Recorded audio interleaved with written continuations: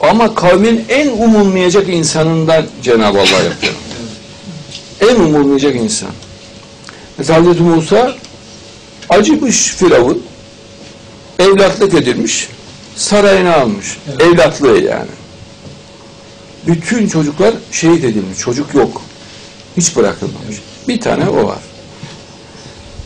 Firavun masonik eğitimini eğitmiş Hazreti Musa'yı. Bütün mason ritüellerini öğretmiş. Masonluğun sırlarını öğretmiş. Çok iyi de sporcuydu biliyorsunuz Hazreti Musa. Evet. Yani kahredici bir güce sahip. İki metre falan boyu. Askeri eğitim de almış. Evet, askeri eğitim de almış. Çok iri yarı. Ee, Kara Yağız delikanlıydı diyor şeyde. Yani enine boyuna çok yapılı. Evet. O heykeli var ya bir tane Musa heykeli. Onu andırır tabii. Çok çok. Evet. Bulamadı evet.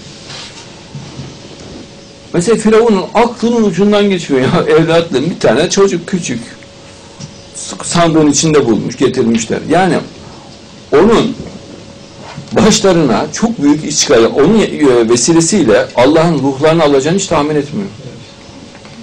Halbuki Allah onu Musa'yı öldürmeye getiriyor. Musa'yı öldürmekle görevli o. Ama bilmiyordu diyor Allah Kur'an'da. Evet. Görevim Firavun'u öldürmek.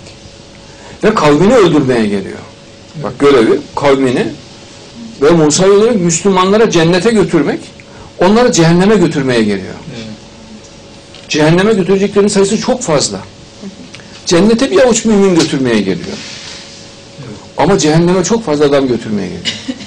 Mehdi de öyledir. Bir avuç Müslümanı cennete götürecek. Ama milyonlarca insan cehenneme götürmeye geliyor. Evet. Evet. Çünkü Allah diyor ayette ben söz verdim cehennemi dolduracağım diyor. Evet. Hatta soracağım diyor Cenab-ı Allah cehenneme. Doydun mu, doldun mu ne? Daha yok mu diyecek diyor Allah. Evet. Daha gelsinler diyecek. Yani benim müsaitim ama sürekli hacim alıyor cehennem, genişliyor. Doldurdukça genişliyor, doldurdukça genişliyor. Bu söz benden çıktı bir kere diyor Allah, ben bunu yapacağım diyor. Ya bunun geri dönüşü yok diyor Allah. Ya bu kaderde olan bir şey. Evet. Bak ben, bu söz benden çıktı ne demek? Oldu bitti diyor Allah. Hazreti Musa etrafında bak şimdi bir avuç mümin ahirette göreceğiz. Çok az. Evet. Cehenneme doldurduklarına bakacağız. Oo. Ummanlara sığmıyor yani. Evet. Firavun ordusunu olduğu gibi cehenneme götürdü. Firavun'u ve ailesini olduğu gibi cehenneme götürdü. Yanındakilerini, danışmanlarını. Ya adamlar ya bu bir kişi. İstesek vurur, işini bitiririz ya şehit ederiz diyorlar. Yani işini bitiririz demeyeyim de Allah affetsin yani. Yani son hayatını sonlandırır. Çok kolay bizim için. Yani Firavun'un aklı ucundan geçmiyor. Ne, ne olacak diyor. Nihayet bir kişi. Çünkü yanında okçuları var. Hazır gerilmiş ok, e, adamlar mızraklarla bekliyorlar. Bir işaret etse Allah vermesin paramparça ederler. Yani cellatlar bekliyor ellerinde büyük pala kılıçlarla. Yani özel sporcu olarak yetiştirilmiş. Ya bir vurdu yani bütün vücudunu böyle atar Allah esirgesin. Ama ellemiyor Firavun. Ya bırakın konuşsun diyor. Kaderde Allah'ın hikmeti. Yani şu ankilerinde çok daha demokrat adam yani. Evet. Evet. Şu an demokrasi içine sindirmiş adam. inanılır gibi değil. Evet. Halka soruyor ne diyorsunuz diyor mesela bir şey olduğunda. Halbuki normalde adam bakar deli bu Firavun yani psikopat zaten. E açıkça da meydan okuduğuna göre Hazreti Musa bir parmağına işaret etse konu orada hemen biter. Tek işaretine biter. Ama yapmıyor. Diyor herkesi çağırın bakalım gelsinler kaderde işte. Allah'ın hikmeti. Bütün o bilginleri, büyücüleri getirin. Hepsini sabah bak emek veriyor adam yani. Onları gözaltına alın diyor. Bırakmıyor Musa'yla kardeşinde Harun'da. Onlar da beklesinler diyor.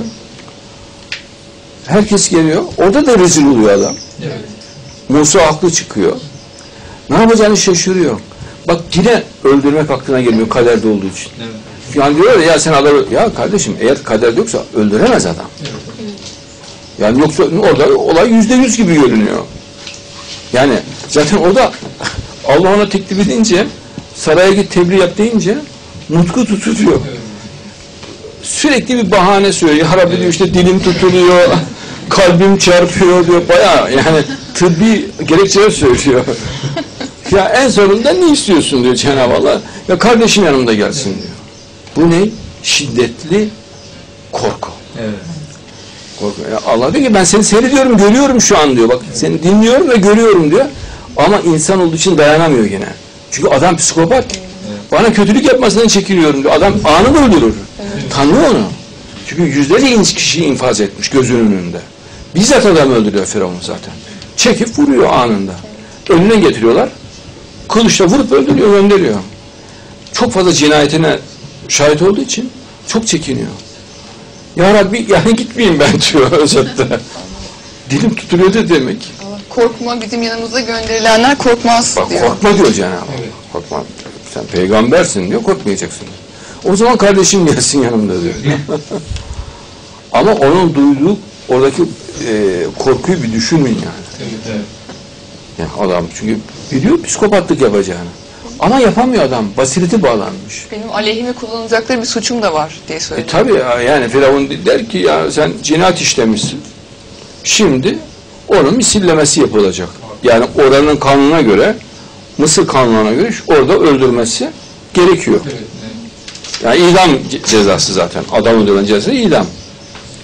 E, idam kararını devlet başkanı veriyor. E desek ki hemen öldürün bitti yani. Evet. Her Allah türlü siz. sebep var. Evet. Her türlü sebep evet, var. her türlü.